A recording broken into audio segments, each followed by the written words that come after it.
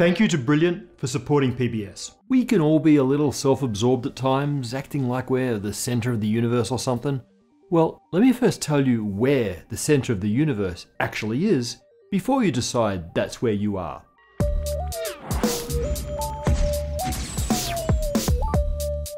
For most of history, all of humanity has been pretty self absorbed, astronomically speaking. We imagined the Earth as the centre of the cosmos until Nicholas Copernicus shoved us off our pedestal onto a random rocky planet orbiting an ordinary star in the outskirts of an unremarkable galaxy. Ever since then, astronomers have embraced the Copernican principle, which states that we are not in a special place in the universe, at least once you factor out the selection biases of needing to be somewhere moderately hospitable. And the Copernican principle inspired another important idea. Not only are we not the center of the universe, but the universe doesn't have a center.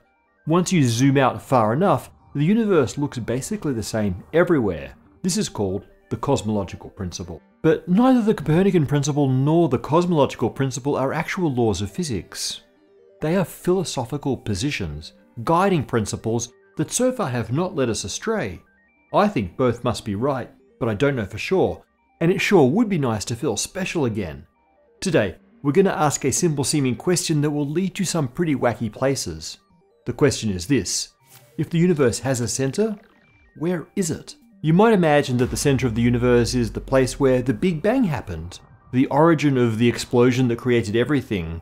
Well, this would be wrong, but it's easy to understand the misconception. Thanks to Edwin Hubble, we know that distant galaxies are racing away from us, and the further we look, the faster they're moving. It looks like the Milky Way is at the centre of a colossal explosion, or as Calvin more poetically named it, a horrendous space kablooey. But the Big Bang isn't an explosion emanating from one point in space. The recession of the galaxies is just as well explained if all of space is expanding evenly everywhere. Galaxies appear to be receding due to the space between them stretching. Most importantly, this looks the same no matter what galaxy you're in. In this picture, the Big Bang isn't something that happened at a single point in space, instead, it happened everywhere at the same time. All space was created at that instant. Google where is the center of the universe or where did the Big Bang happen, and you'll get this basic story for the first 50 pages. And that's because the story is probably right. But today I want to dig deeper and see what assumptions are behind this interpretation and also ask what it would mean if those assumptions are wrong. But before we mess with the standard narrative, let's make sure we understand what it is. As with much, it starts with Einstein. His general theory of relativity explains gravity as the warping of space and time due to the presence of mass and energy. General relativity can be used to calculate the space-time curvature produced by the Earth or the Sun to determine their gravitational effects. It can also give us the gravitational field of the entire universe, which tells us the shape of all spacetime. It wasn't actually Einstein who worked this out. Alexander Friedmann solved the Einstein equations for the whole universe by doing the mathematical equivalent of grinding up everything in the universe into a fine paste and spreading it evenly through space. That gave him equations of motion that described how the universe must evolve, and a shape defined by something called the Friedmann-Lemaitre-Robertson-Walker metric, also named for those three others who came up with it at around the same time.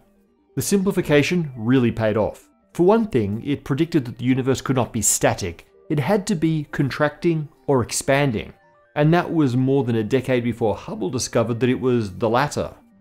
The FLRW metric also predicts that there are only three possible global shapes to 4D space-time, determined entirely by one number, the curvature. Depending on whether the average curvature is positive, negative, or zero, we get one of three shapes, which we call closed, open, or flat.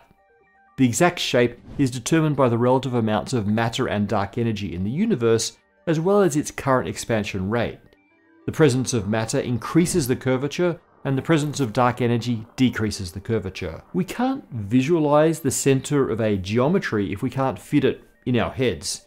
In order to do that, we need to lose a dimension.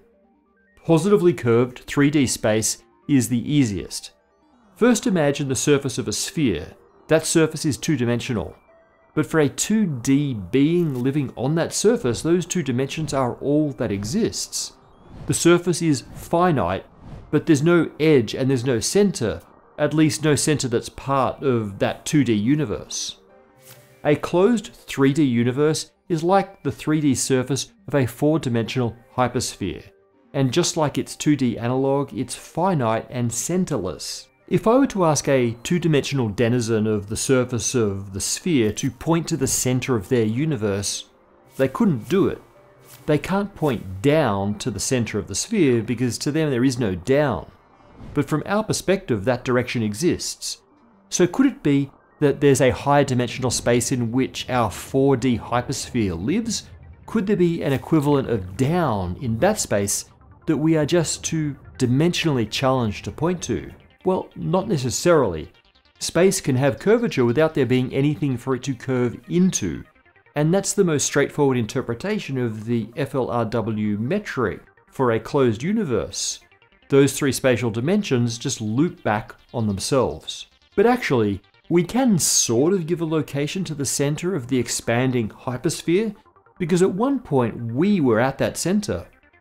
So far, we've ignored the dimension of time, our universe is expanding. In the case of the closed universe, that means it started out as a very, very tiny hypersphere surface and got bigger. So, very crudely, we can think of the radial direction as the dimension of time.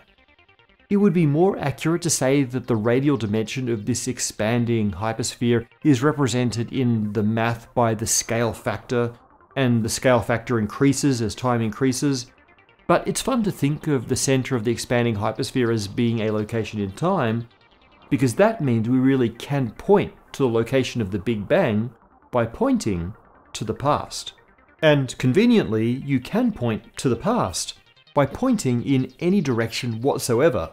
I'm serious, hear me out. You can point at, say, the moon by ensuring that a line drawn from your outstretched finger intersects the moon. Of course, you wouldn't be pointing at the moon of the present, it would be the moon of the past, because you're aligning your finger with light that has only now reached you from the moon, and that light started traveling one second ago. Now, imagine that 2D dweller points at a random direction. Draw a line in that direction, and at the same time reverse the flow of time to see what it intersects. The line loops around the closed universe as the sphere shrinks, until eventually all points in the universe including the line that we're tracing, coincide with the center. It's the same with our universe. Point in any direction and you're pointing at the Big Bang. And if the universe really is closed, you're also pointing at the point where all space occupied the geometric center of the hypersphere. A lot of this stuff is also true for a flat or open universe. The 2D analog of the flat universe is an infinite flat plane, while the open universe corresponds to a sort of saddle shape what we call a hyperbolic plane, which also stretches on forever. In both of these cases, there's no geometric center, even in a fictional higher dimension. However, you can still point at the Big Bang by pointing in a random direction because the line traced from your finger also ends up at the beginning of time. These lines we've traced have a name. They're called null geodesics. They're the grid that define the fabric of space-time in general relativity and correspond to paths followed by light. No matter the geometry of our FLRW universe, all geodesics converge to a single point in the past and end there. In the language of GR, we call this ending of space-time paths geodesic incompleteness. Geodesic incompleteness is just a fancy way to say singularity. There is literally no direction that you could point that would not intersect the Big Bang if traced backwards, and that's true anywhere in the universe.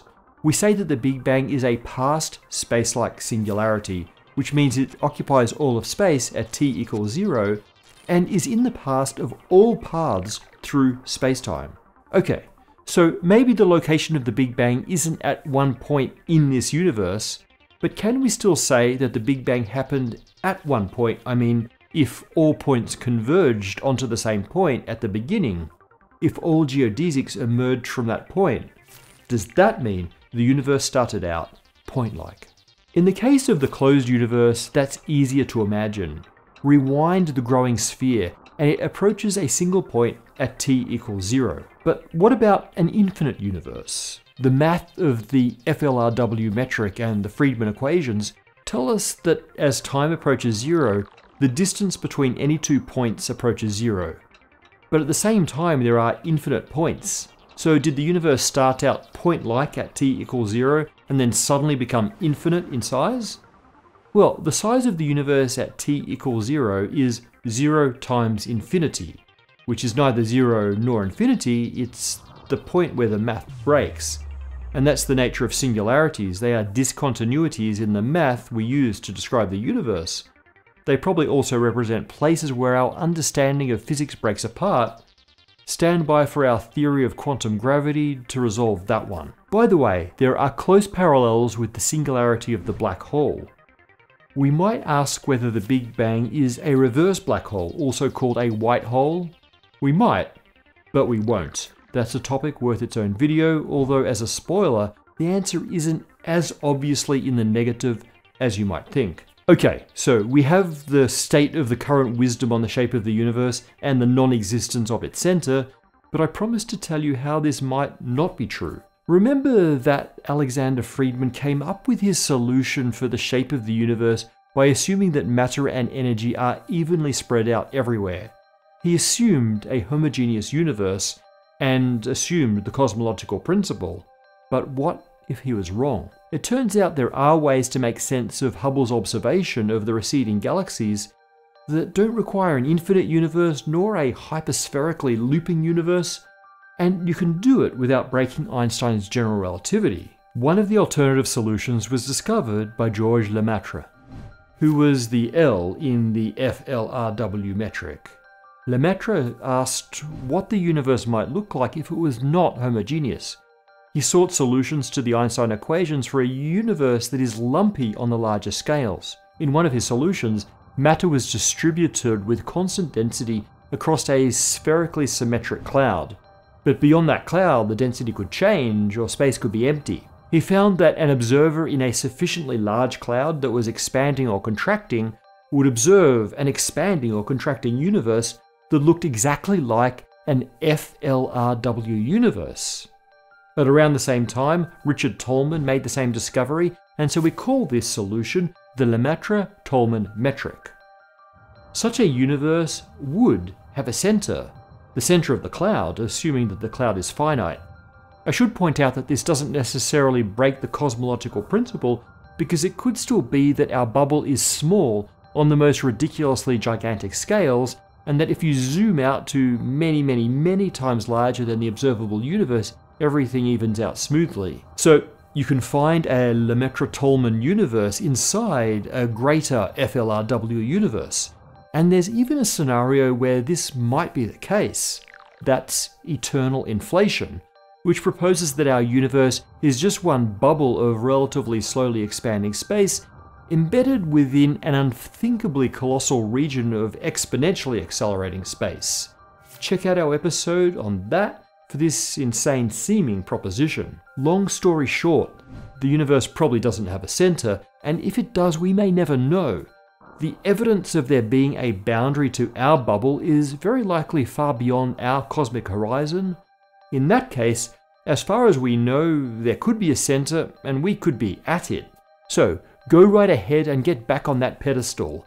We know it's almost certainly not true, but no one is ever going to prove that the Earth, humanity, even you personally, are not at the very center of a very non Copernican spacetime. Thank you to Brilliant for supporting PBS. To understand astrophysics, Brilliant believes that it helps to have a solid understanding of relativity. Brilliant has a lesson on special relativity that includes interactive challenges and problems to solve, a hands-on approach can guide you through thinking strategies for challenging subjects like relativity. It starts out explaining relativity in terms of boats passing each other on a river, then goes into some puzzles that require challenging perspective, like the ball stack bounce, and then goes into the speed of light and even time travel. To learn more about Brilliant, go to brilliant.org slash spacetime.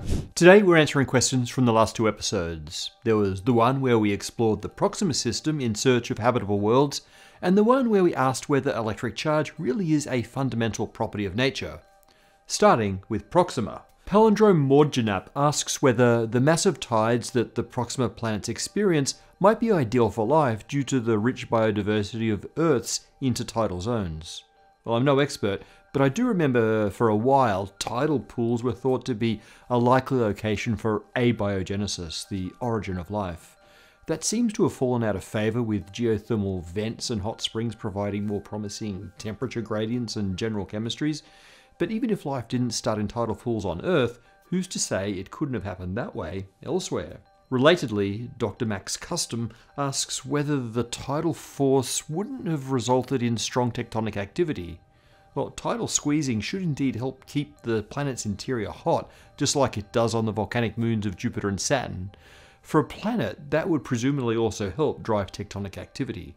On Earth, tectonic activity is essential for life due to its role in the carbon cycle. Life draws carbon from the atmosphere and sequesters it in the crust.